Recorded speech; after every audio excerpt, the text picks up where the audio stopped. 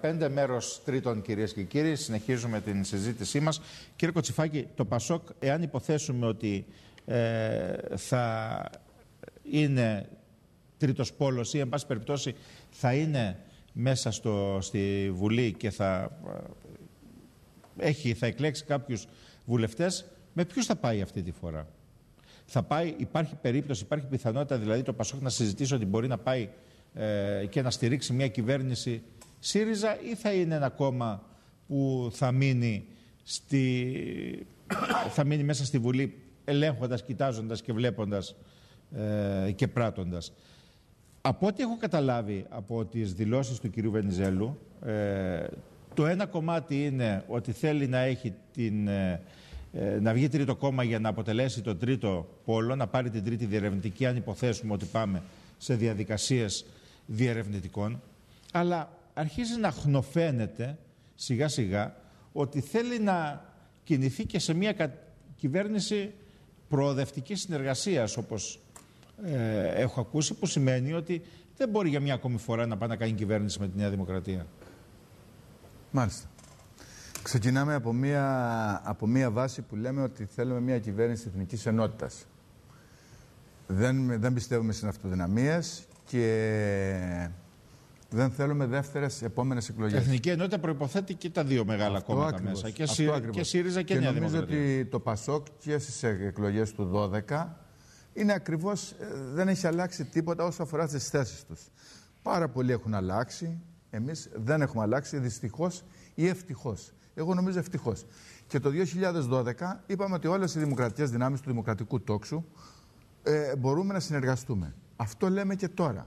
Λέμε κυβέρνηση εθνικής ενότητας, όχι σε αυτοδυναμίας και με.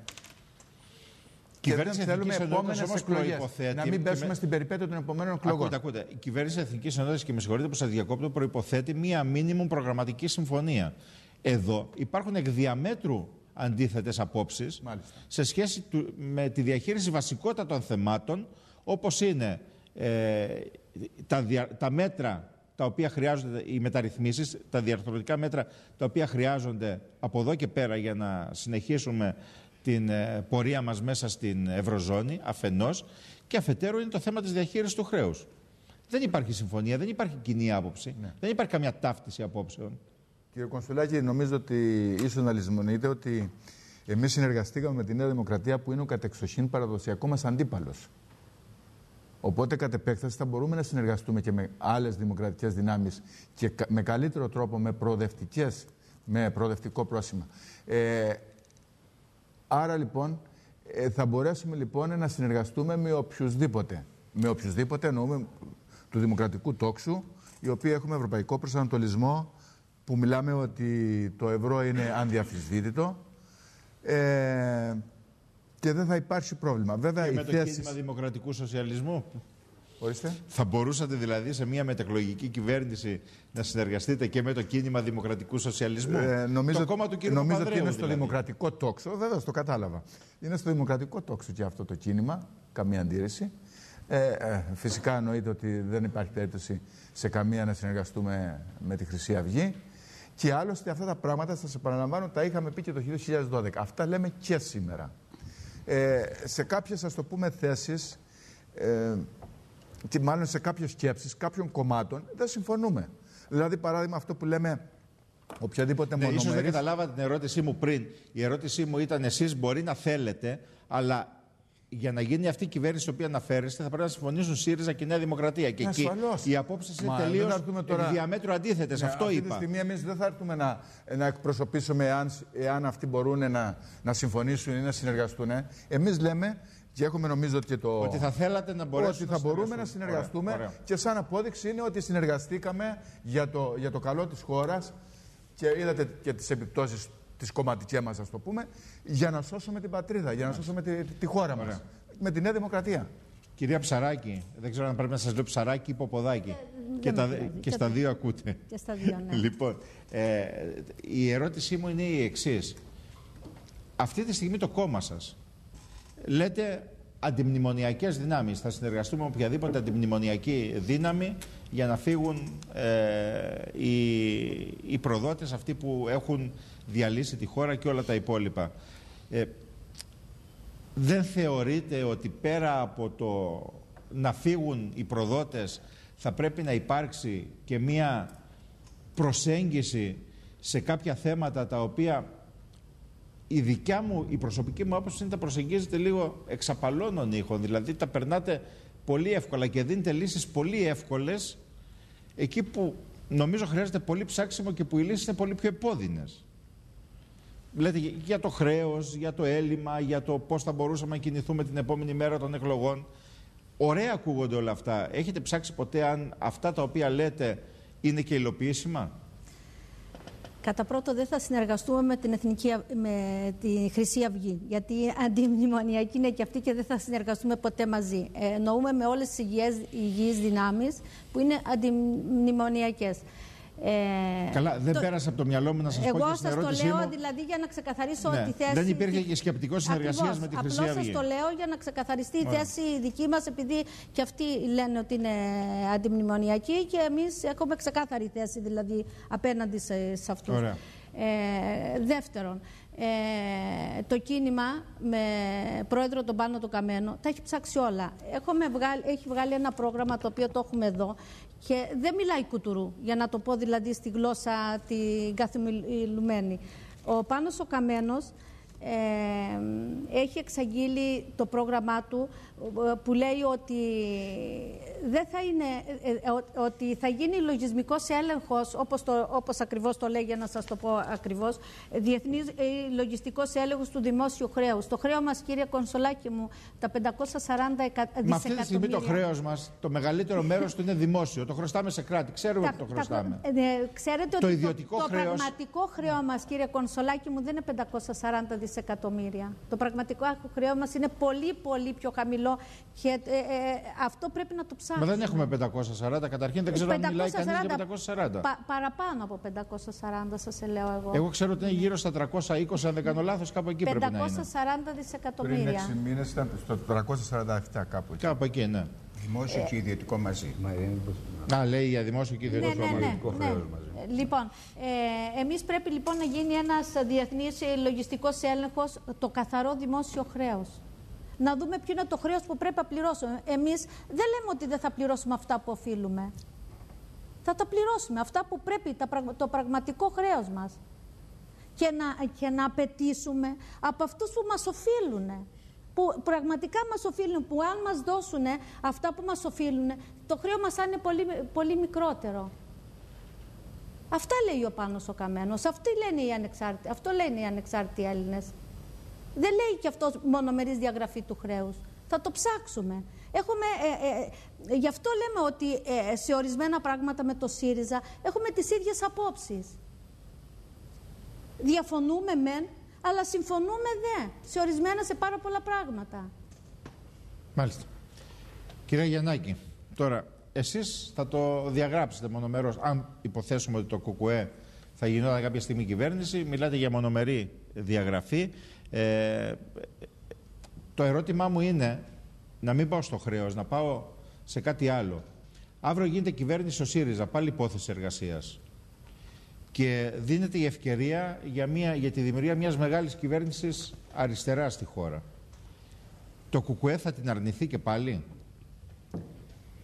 Κύριε Κονσολάκη, έχουμε τοποθετηθεί για αυτό το θέμα όχι τώρα και από τις προηγούμενες εκλογές που όντως ε, και οι δυνάμεις του Κομμουνιστικού Κόμματος δέχτηκαν πίεση και από ε, οπαδούς, ε, φίλους του κόμματος οι οποίοι όντως ένιωθαν την ανάγκη και έβλεπαν μάλιστα το Κομμουνιστικό Κόμμα ως εγγυητή μιας τέτοιας προσπάθειας. Γιατί δεν τους ακούτε αυτούς τους φίλους και οπαδούς; Όμως, και φαίνεται ότι από τότε έχουν αλλάξει τα πράγματα. Φαίνεται ότι αυτά που τότε λέγονταν σήμερα έχουν αλλάξει δέκα φορές μέχρι τώρα. Θέλω να πω όσο αφορά στις θέσεις του κόμματος, του ΣΥΡΙΖΑ, ε, για τη στάση του απέναντι στο χρέος κτλ σε κάθε περίπτωση Θεωρείτε ότι πηγαίνει, πάντως, πηγαίνει προς τα δεξιά ο ΣΥΡΙΖΑ όσο περνάει ο καιρός και όσο πλησιάζει την κυβέρνηση; Θεωρούμε ότι προσαρμόζεται σε αυτό που μέσα σε εισαγωγικά αποκαλούν ρεαλισμό για να μπορέσει να καταλάβει την εξουσία και να διαχειριστεί το καπιταλιστικό Αν μπορούσε σήμερα όμως να σχηματίσει με η τους κυβέρνηση νόμους μαζί του σας. καπιταλισμού. Αν μπορούσε να σχηματίσει η κυβέρνηση με το ΚΚΕ,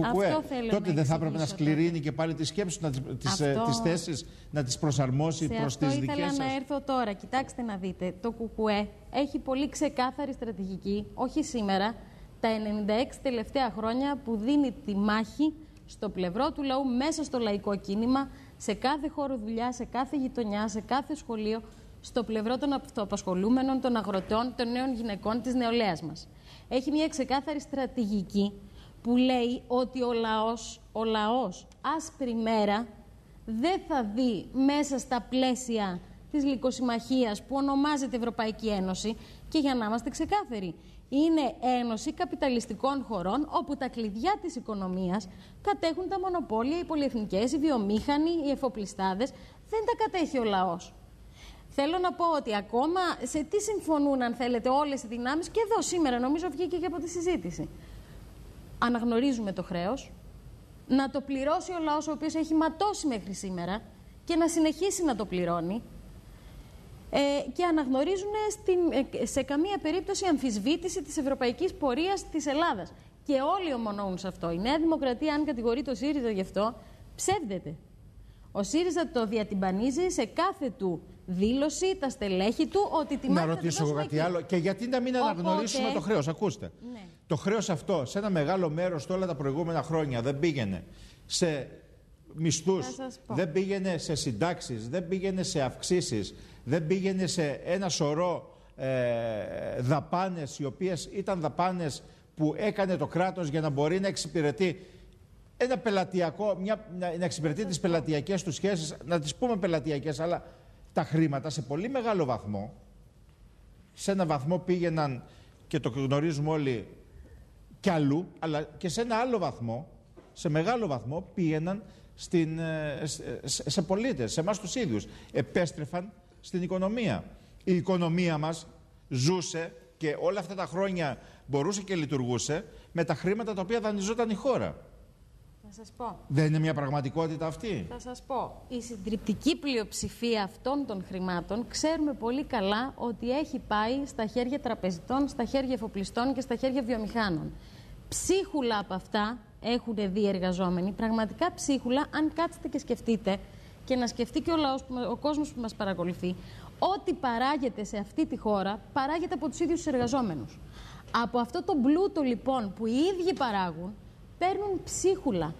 Φτάσαμε δηλαδή στον 21ο αιώνα, το 2015, και έχουμε παιδιά που λιποθυμούν από ασυτεία στα σχολεία, έχουμε κομμένα ρεύματα, έχουμε μαθητές που δεν μπορούν να πάνε στο σχολείο τους γιατί δεν έχουν λυθεί τα ζητήματα της μεταφοράς τους και ζουν πραγματικά μία μαύρη Αυτό- λέλαπα. αυτό έγινε από το Έτσι. 2009 και λοιπόν, μετά. Αν Μέχρι το θέλετε και 2009 ήταν στατιστικά, διαφορετική θα κατάσταση πω, όμως. Αν θέλετε και στατιστικά, γιατί είχε βγει το- πριν το 2009 μελέτη, όχι δική μας προφανώς, μελέτη οργανισμού του ΩΣΑ των ε, ε, των δικών τους μηχανισμών τέλος πάντων, η οποία έλεγε ότι για κάθε ένα ευρώ που παίρνουμε, γιατί είναι δικά μας χρήματα, για κάθε ένα ευρώ που παίρνουμε από την Ευρωπαϊκή Ένωση, δίνουμε πίσω έξι. Μάλιστα. Δηλαδή μιλάμε για ένα...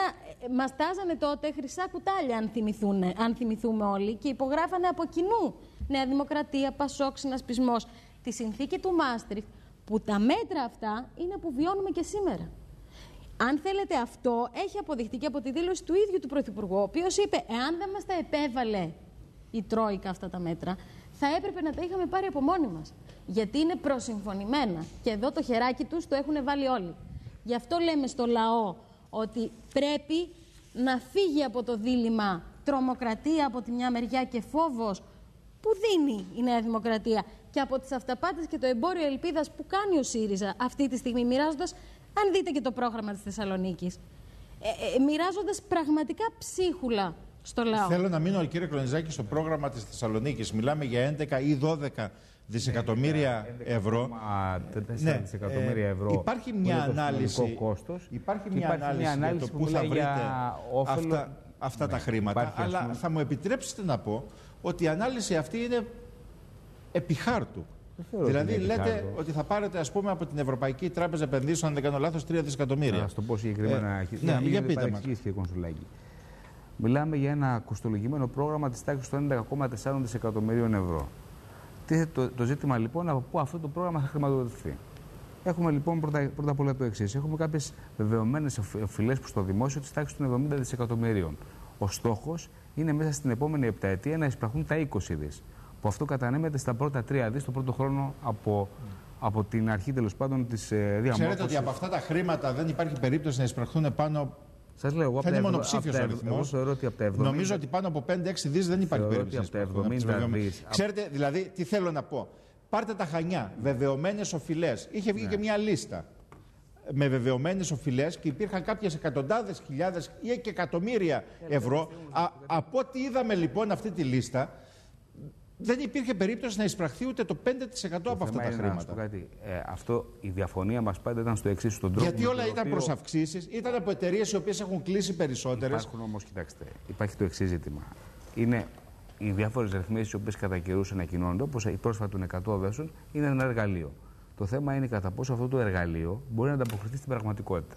Δηλαδή, αν το όφελος το οποίο προσδοκά εσύ ως κράτος ότι θα εισπράξει από τους πολίτες είναι τέτοιο έτσι ώστε ο πολίτης ο οποίος θα μπει στη ρύθμιση, γιατί συμβαίνει και το εξής γεγονός ότι οι πολίτες μπαίνουν στη ρύθμιση, αλλά είναι τόσο μεγάλο το ύψος των δόσεων, έτσι ώστε αυτοί να μην μπορούν καν να, να ανταποκριθούν σε Το αυτό μεγαλύτερο πράγμα. πρόβλημα δεν είναι οι, οι δόσεις. Το μεγαλύτερο πρόβλημα είναι ότι θα πρέπει να καλύπτουν τις υποχρεώσεις τη άμεση. Είναι όλο αυτό το πράγμα. Είναι ένα πλαίσιο το οποίο Δηλαδή, έχει. μπαίνει κάποιος η στη ρύθμιση των οικονομική- ασφαλιστικών εισφορών. ναι, η οικονομική ομάδα του ΣΥΡΙΖΑ το έχει μελετήσει.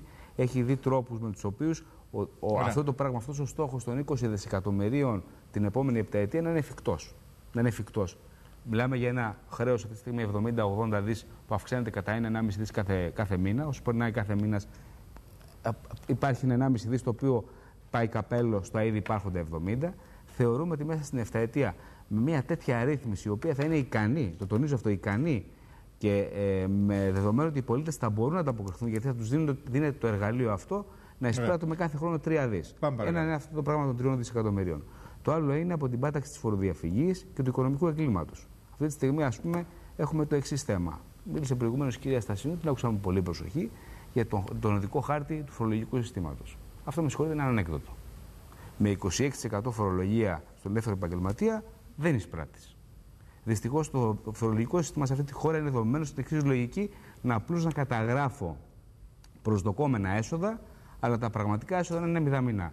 Εμείς λοιπόν πάμε σε μια φορολογική ε, αναμόρφωση με τέτοιο τρόπο, έτσι ώστε τα προσδοκόμενα έσοδα είναι και τα πραγματικά έσοδα που θα έχει το κράτος.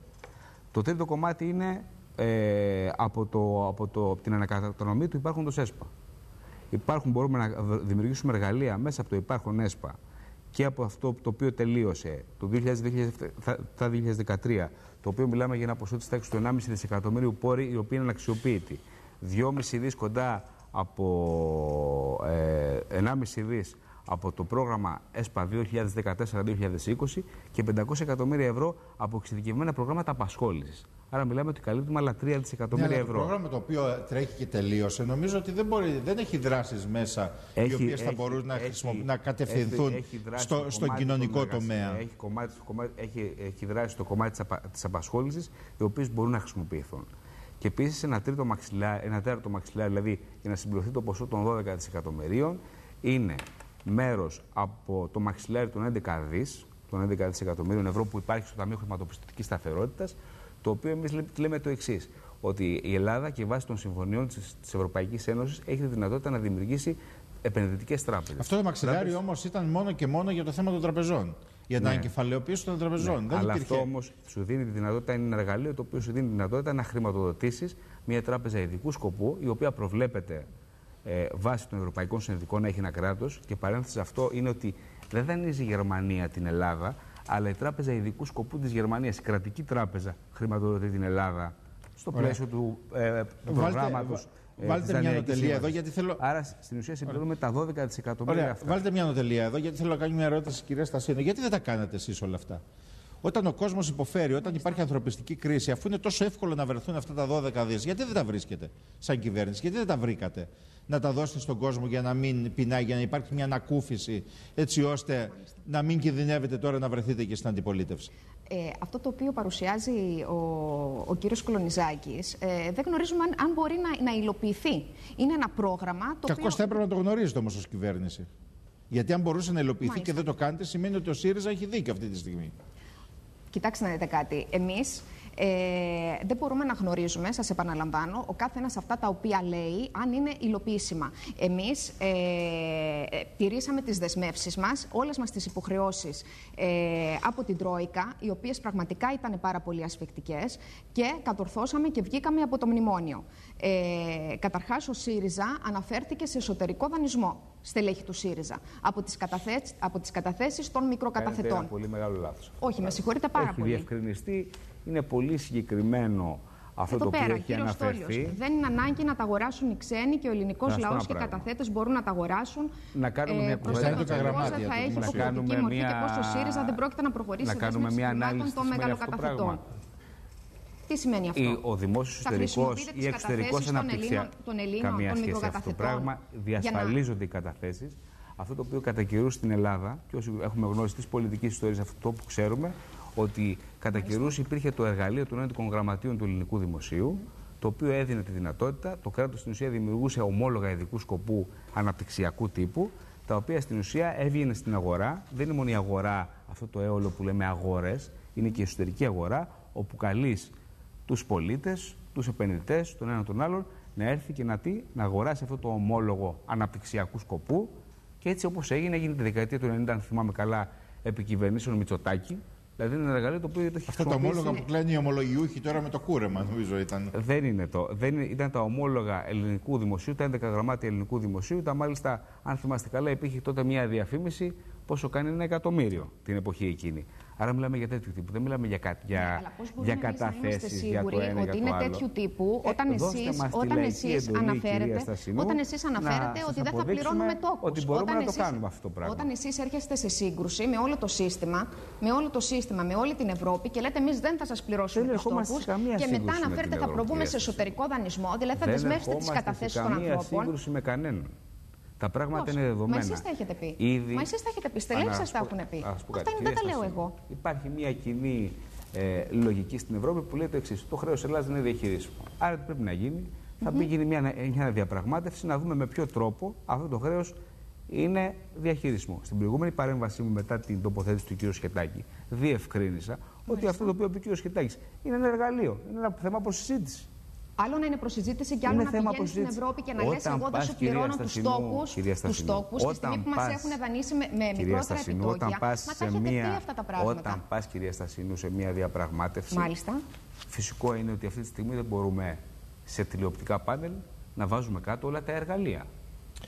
Μα Βάζα έχετε εσείς, αναφέρει δηλαδή, συγκεκριμένα αναφέρετε- πράγματα. το Συγκεκριμένα Συ- Συγγνώμη, πράγματα. μισό να Βάλατε διευκρινίσω εγώ μια κάτι. στρατηγικό Η κυρία στόχο. Στασίνο αναφέρεται πάλι σε κάποιες δηλώσεις που είχαν γίνει κυρίως από τον κύριο Τόλιο. Και αυτό είναι, Ναι, αλλά ο πρέπει κύριος να Τόλιος- ομολογήσετε ο ότι είναι κύριος ένα Τόλιος- πρόβλημα που ο έχετε κύριος στο Τόλιος- κόμμα ο σας, κύριος κύριε Τόλιος. Κλοντζάκη. Στην Διότι Στην παρέμβασή Ναι. του τη- το Σάββατο το πρωί ο κύριος Τόλιος, σε εκπομπή, αν θυμάμαι καλά, στον κύριο Αυτιά στο Α, βγήκε δημόσια και έκανε τοποθέτηση ότι αυτό ότι στην ουσία άλλο είπε, άλλο εννοούσε και άλλο τέλος πάντων. Ναι, αλλά το πιάστηκε. θέμα είναι ότι όταν λες κάποια Εντάξει, πράγματα και κοιτάξτε, ακούγονται κύριε, και, περνε- και είναι υπάρχει δημόσιες ένα δηλώσεις. θέμα. Υπάρχει ένα θέμα σοβαρό ότι ο Αυτή, ΣΥΡΙΖΑ. αυτή είναι δυστυχώς, πονηρές ημέρε και το ξέρετε Το πολύ ξέρω, καλά. Το ξέρω έτσι. πολύ καλά, κύριε, κύριε Κονσουλάκη. Υπάρχει το εξής ζήτημα, και όχι σε επίπεδο περιφερειακών καναλιών, που ευτυχώς υπάρχουν αυτά τα, όπως εδώ πέρα το δικό σας κανάλι, το οποίο μας δίνει τη δυνατότητα να αναπτύξουμε ε, τη λογική μας, την αντίληψή μας, να γίνει αυτή η αντιπαράθεση. Δεν είναι προσωπική αντιπαράθεση με την κυρία Στασίνου αυτή τη καμία στιγμή, εννοείται ούτε με κανέναν από εδώ πέρα.